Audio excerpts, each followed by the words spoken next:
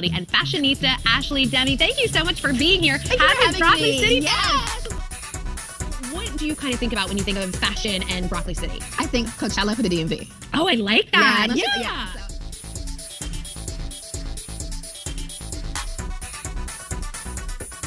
Model, walk us through this look. Now she looks fab. Metallic, shorts. I mean, just perfect. Sometimes